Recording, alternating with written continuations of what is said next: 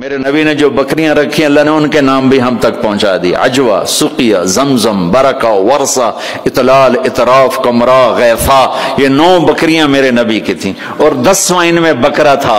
نسل بڑھانے کے لیے اس کا نام تھا یمن اور ان کو چرانے والی تھی ام ایمن اور اس میں آپ کی بکری کمرہ آپ کی زندگی میں مر گئی